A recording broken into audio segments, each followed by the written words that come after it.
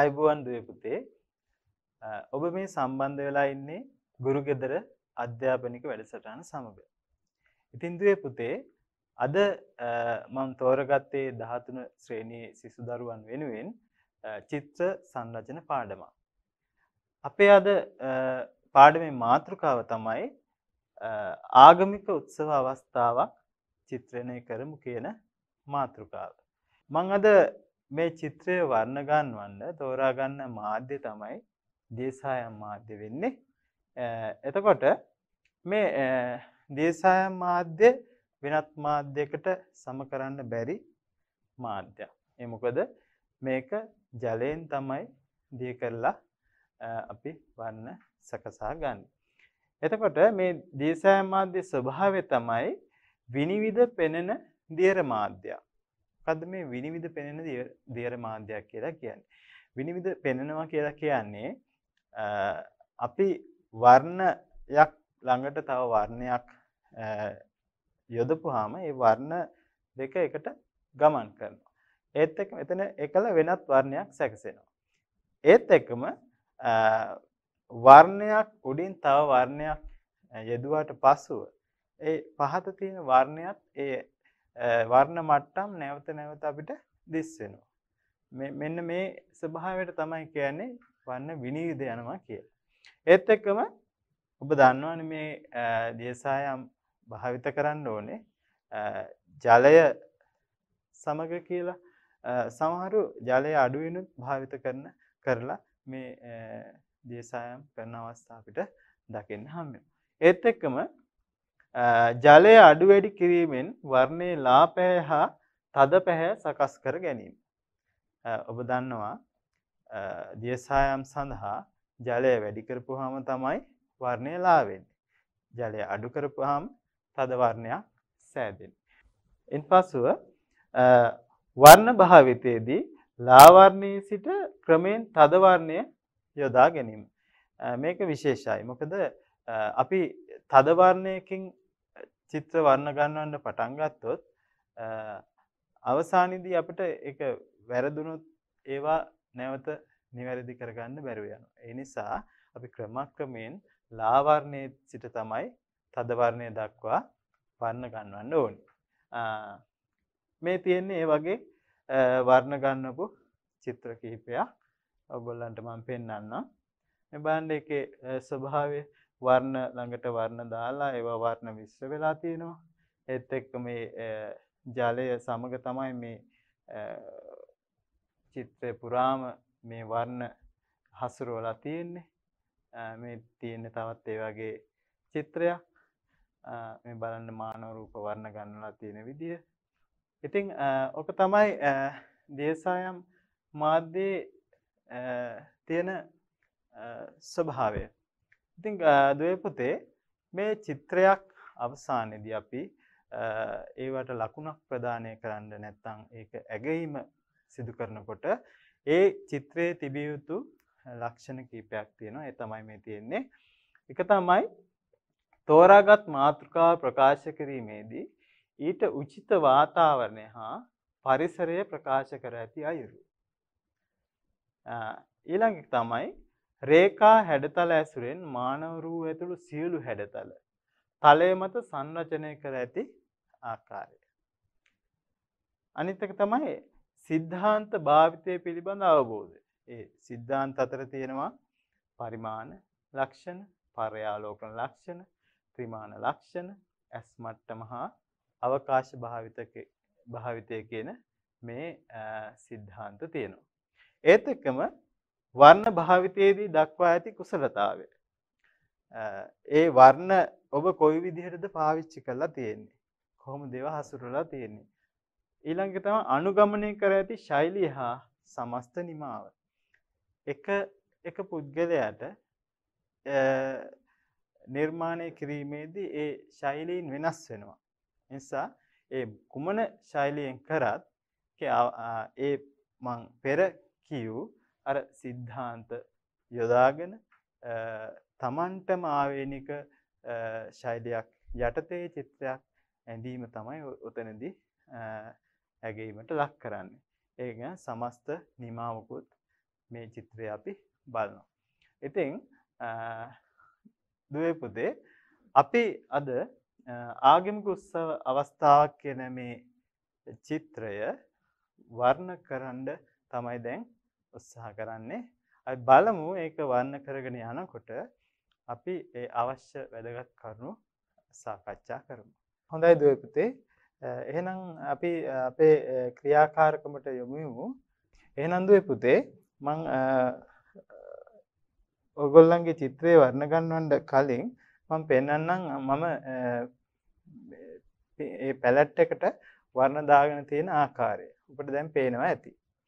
ඉතින් දුවේ පුතේ මෙතන තියෙනවා කහ වර්ණය ඒත් එක්කම රතු වර්ණය, දුබුරු වර්ණය, කළු වර්ණය සහ නිල් වර්ණය. බොහෝ වෙලාවට මේ ඔබගේ පාට පෙට්ටියේ තිබෙන පාට සියල්ලම ගන්න අවශ්‍ය වෙන්නේ නැහැ. මොකද අපිට නිල් කහ රතු කියන මූලික වර්ණ වලින් වර්ණ අපිට සාදා ගන්න පුළුවන් ඕනම වර්ණයක්. දුවේ පුතේ මම දැන් චිත්‍රය පාට කරන්න ගන්නේ පසුබිම පාට කළා ඊළඟට මානව රූප පාට කරන්නයි උත්සාහ කරන්නේ. හැබැයි ඔබ ඉගෙනගෙන තිබෙන්නේ මානව රූප පාට කළා පසුව පසුබිම දාන්න නම් ඔබ ඔබේ ක්‍රමයට ඒ චිත්‍ර වර්ණ ගන්නවන්න ඔබට අවශ්‍ය නම් මේ ක්‍රමයත් හදා බලන්න පුළුවන්. මොකද ඒ ක්‍රම දෙකින්ම වෙන්නේ එකම සිදුවීම තමයි. බලමු අපි මං ඉස්සරවම මේකේ ඈතම තියෙන්නේ අහස. මම හිතුවේ වත් ජලය ටිකක් මේ විදිහට තවර ගන්නවා.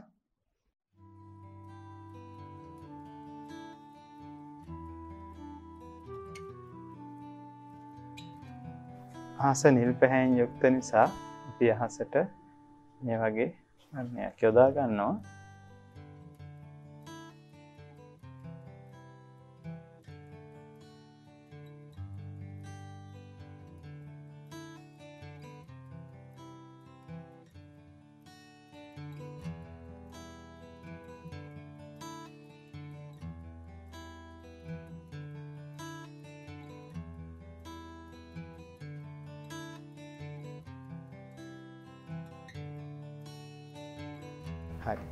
අපි අහස වර්ණ ගන්නව ගත්තා. ඊපස්සේ මේ වටේ තියෙන ගස් කොළන්.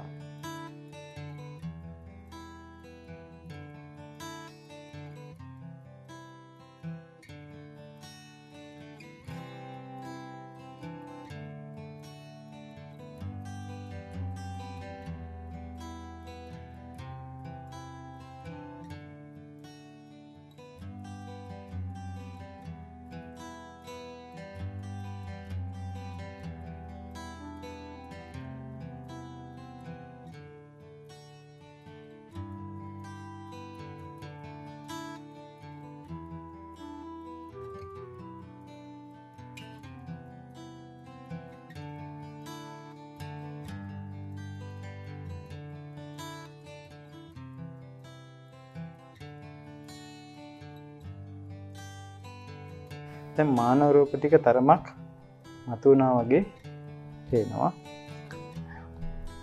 දැන් බලමු අපි මේ ගස් කොළන් තව චුට්ටක් වර්ණ ගන්නවන්න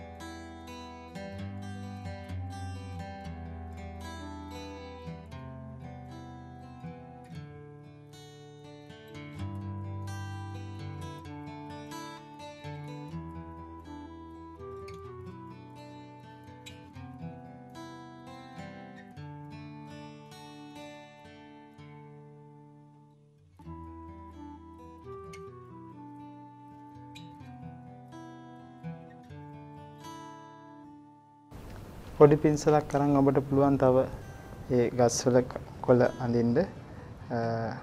ඔබ නිතර මිශ්‍ර නොකරන වර්ණයක් මේ බර්න් සීනා කියන දුවර පාට වර්ණයයි.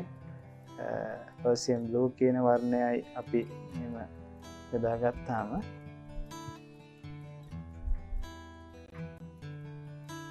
ටාමතුම වර්ණයක් සාදාගන්න මේ වගේ.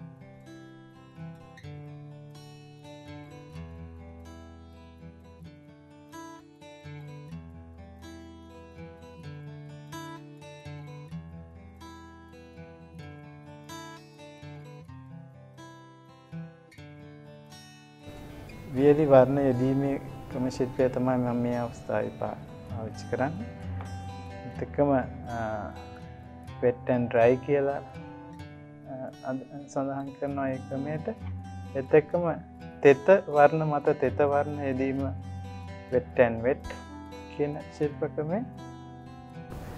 ඔවුන් යන මාර්ගයේ දෙපස තියෙන කුඩා පඳුරු මම වර්ණයක් නොගන්වාම මේ විදියට ඉතුරු කරන ඒවා වර්ණයක් ගන්නවනවට වඩා එතනින් මතු වෙලා හොඳ පේනවා. ඒ තුළින් එත් එකම අපි ඒ පැත්ත අවසං කරගත්තා. තව ඔන්නම් අපිට වර්ණ විනිවිදයමේ ස්වභාවය පෙන්හන්න අවශ්‍ය නම් ලා පැහැයකුත් අපිට එකතු කරන්න පුළුවන්. ඒ වගේ තැන්වලට. එත් එක්කම අපිට පුළුවන් මේක ගස්වල අත්තු තෙත මොහොතේම අපිට මේ වගේ වියලි තීන්ත ආලේප කරලා මෙන්න මේ විදිට පෙන්වන් ආකාරය අපි ඒ කොටස අවසං කරා.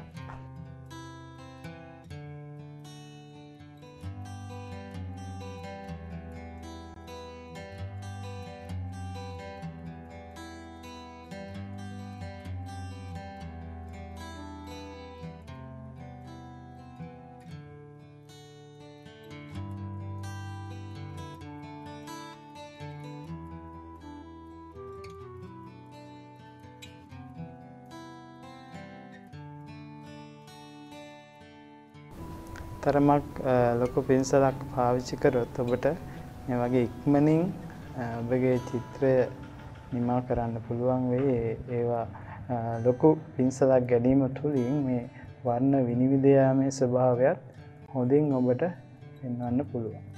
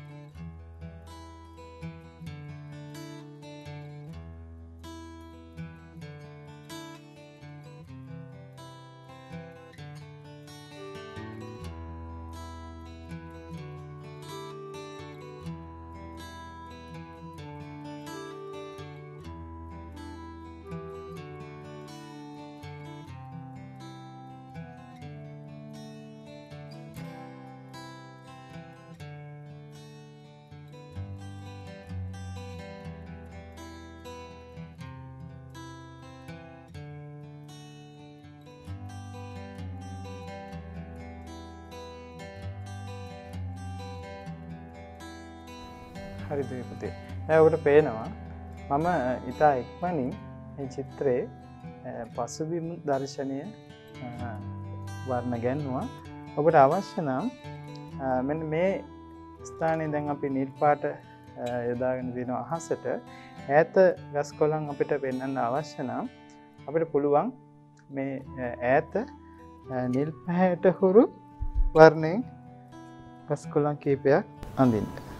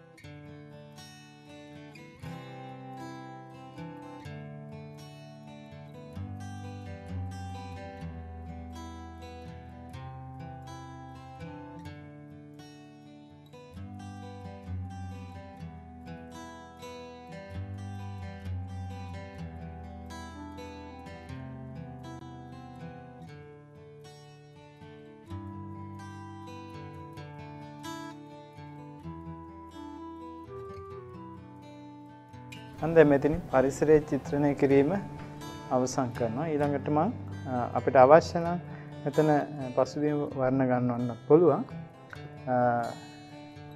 මෙතන තෙත පරිසරයක් තියෙන. ඒක නිසා මේ බොහොම පරිස්සංවෙන් ඕනේ වන්න යෙදීමේදී. මොකද මේ අනිත් වර්ණ ඒ වර්ණ සමඟ මිස්්‍ර වෙන්න පුළුවන් හින්ද.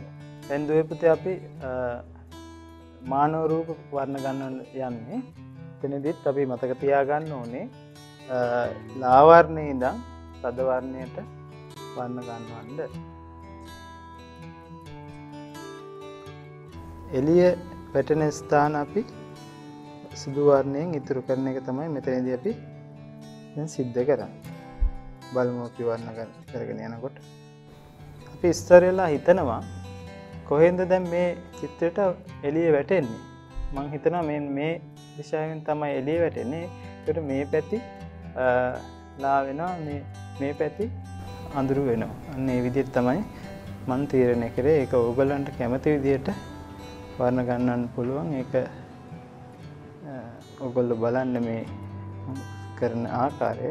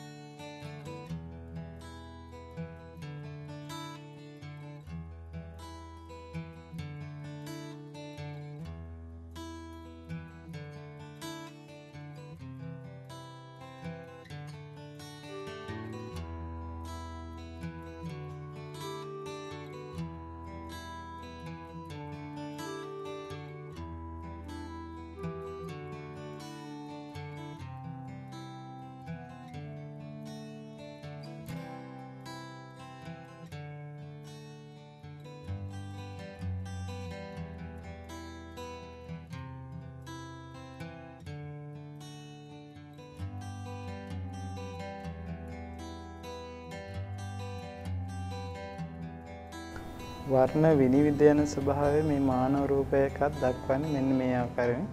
පෙර අපි මේ යොදපු මේ පින්සල් පහර ඊළඟ වර්ණයනුත් ඊළඟට යොදපු වර්ණයනුත් තුළින් අපිට දර්ශනය වෙනවා. එක ඒත් එක්කම ඒ වර්ණ අතර වර්ණ ගමන් කිරීමත් ඔබට මෙතනදී දැක්වන්න පුළුවන්. ඒ දියසායම් කලාවේ තියෙන විශේෂතම ලක්ෂණය වෙන වර්ණ විනිවිදයාමේ ස්වභාවය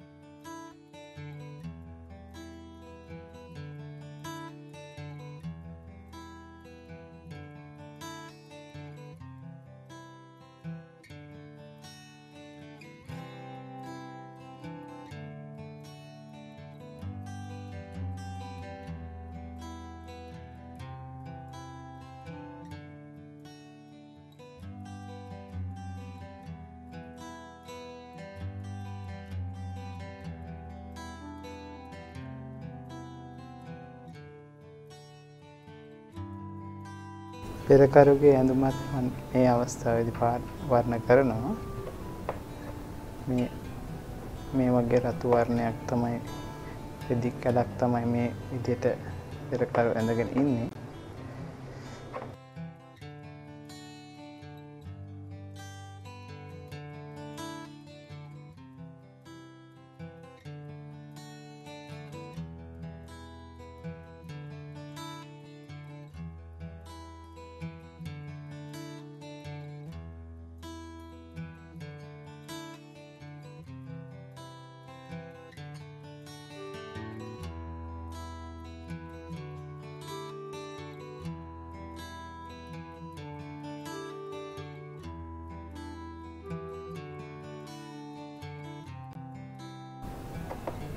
බෙරේ තිබෙනවා මේ විදියට හම් පටි කීපයක් මම ඒ පටි සුදු පාටින් ඉතුරු කරනවා.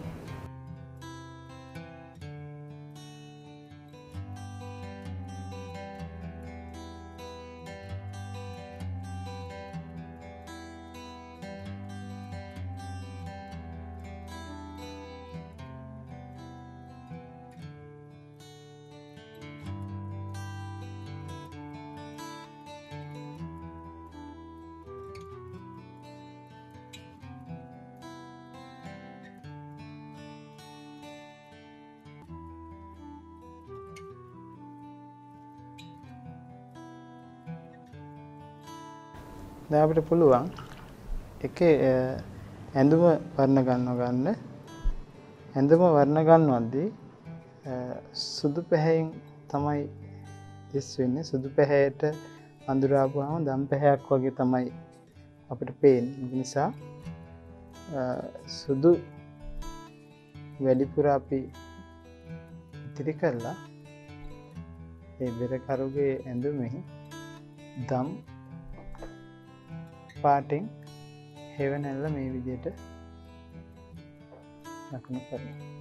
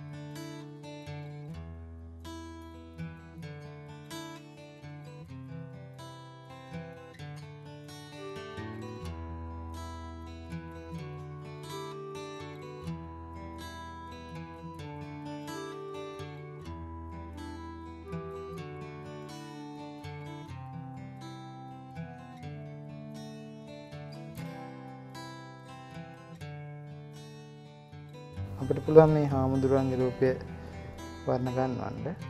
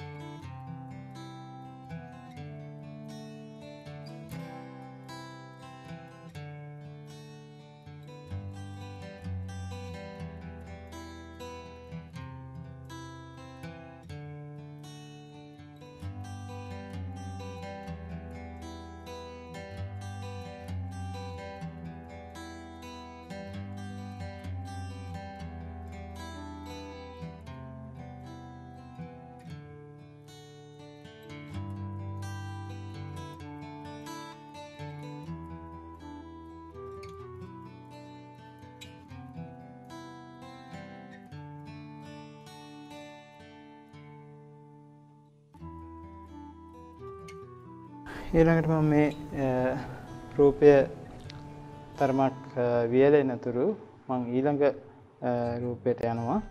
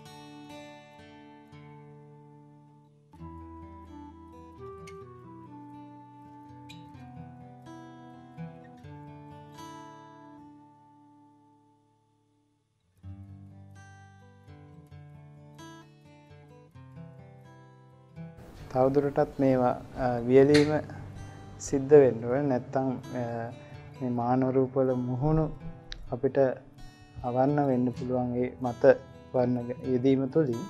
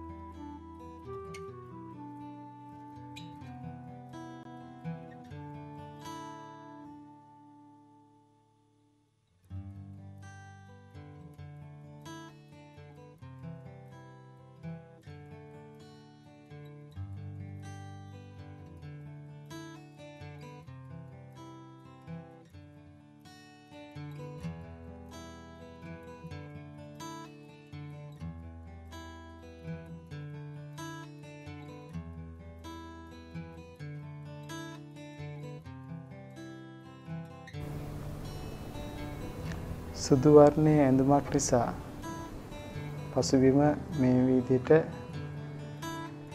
තද වර්ණයෙන් යොදා ගැනීම තමයි අපි සිද්ධ කළේ. එක සුදු වර්ණය තවදුරටත් ඉස්මතු කරන්න හේතුවක් වුණායි පසුබිම් වර්ණය පැහැය. මේ කොටසත් අපිට පසුබිම කොටසක් විදියට වන්න කරලා අපිට පුළුවන් මේ ආකාරයෙන් මතු කරගන්න. මේ කොටසත්ම ගහක කොලයක් විදිහට යොදා ගන්නවා. කොටේ ඇඳුම් කොටසත් මතු වෙනවා.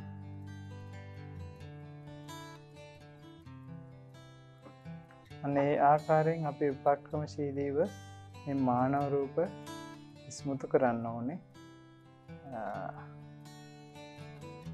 බත් මේ ක්‍රම අනුගමනය කරයි කියලම හිතනවා.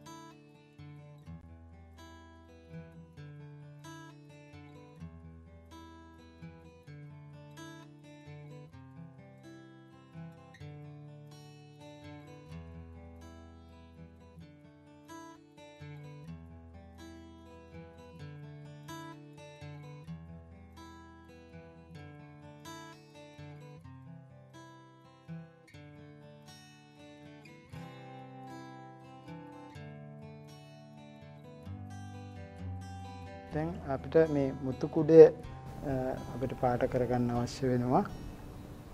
ඒ සඳහා මං කහ වගේ වර්ණයක් පාවිච්චි කරනවා. කුඩේ යට අඳුරු ස්වභාවයක් ගන්න නිසා කුඩේ යට කොටසට තද කහ යොදා ගන්නවා.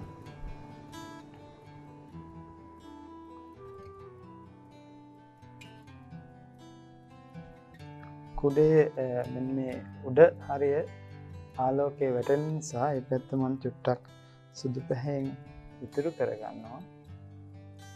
පුළුවන් මේ වෙනකම් මේ විදියට බන්න කරගන්න.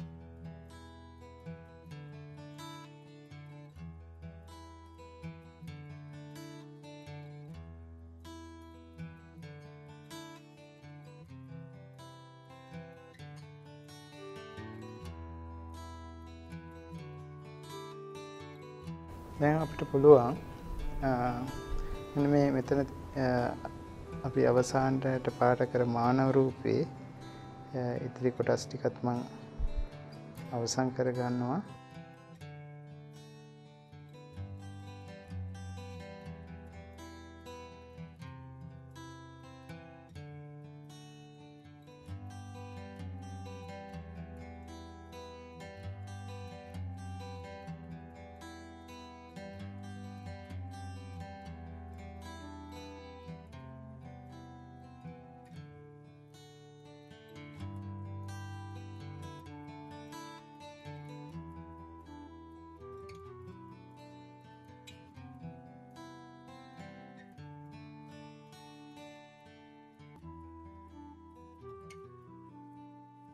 දැන් මම ඊළඟට සූදානම් වෙන්නේ මේකේ අ, අ, පාර කොටස වර්ණ කරගන්න.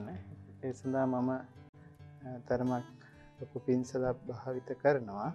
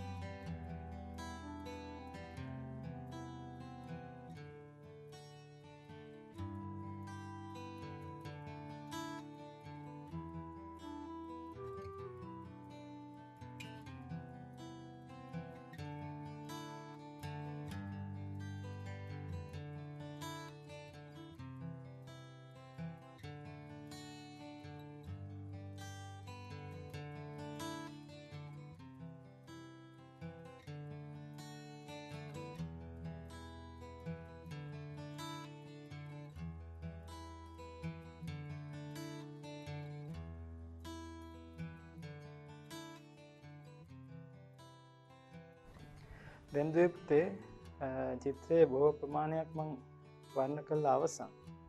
නමුත් අපි අ, අවධානය යොමු නොකරන තව කරුණු තියෙනවා දැන් අපිට පුළුවන් මේකේ අ, මේ ආලෝකය වැටුණු මෙන්න මේ දිශාවට විරුද්ධ පැත්තේ මේ සෑම රූපයකම අ, සෙවනැලි ඇඳලා අපිට තවත් ඒ ආලෝකය අ, වැටුණු අ, ස්වභාවය පෙන්වන්න පුළුවන්.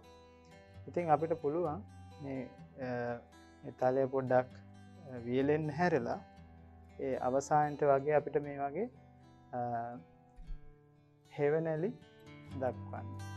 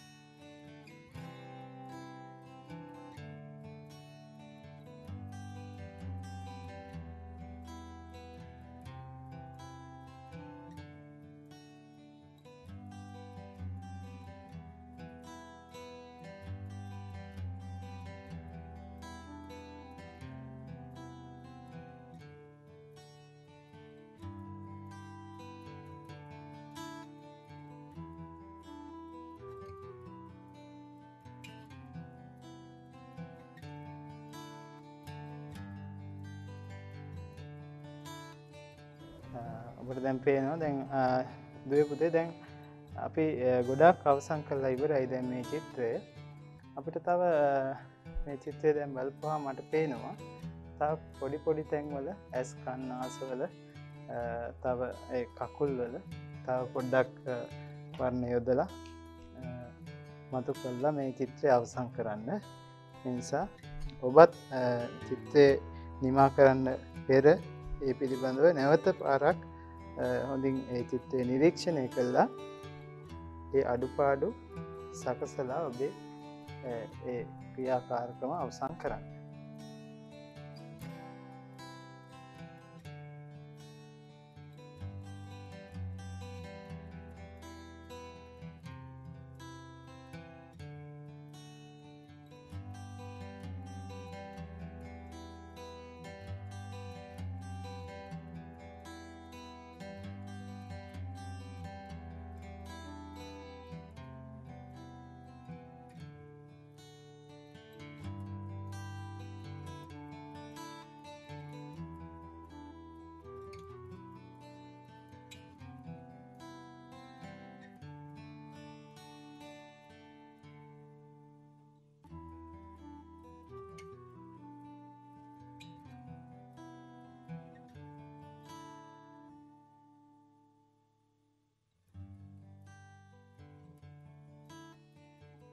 මේ චිත්‍ර ඉතා හොඳින් කරලා අවසන් කරන්න ඕන නිසා ඔබගේ කාලය ගැනත් සිතා ඉතා ඉක්මනින් කිරීමත් වැදගත් වෙනවා. නිතර නිතර ඔබ දියසායම් චිත්‍ර මේ විදියට මේ සියලු ක්‍රියාකාරකම්වල අභ්‍යාසය නිරත වෙන්න ඕනේ.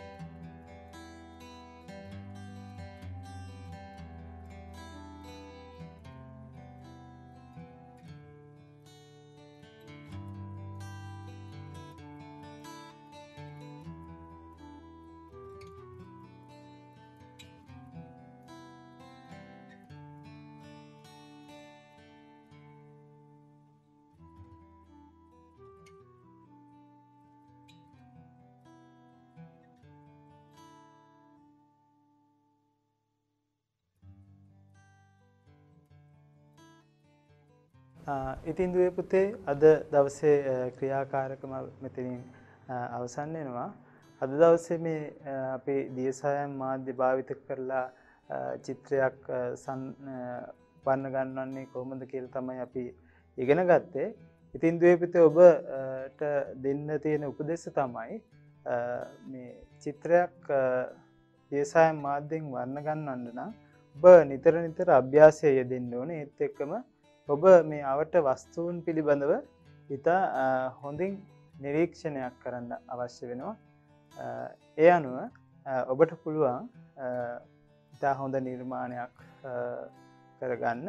ඉතින් දපතේ නැවත දවසක අප මෙවැනිම පාඩමකින් හම්බ වෙන තුරු ඉතින් මං අද මෙතරින් නවතිනවා.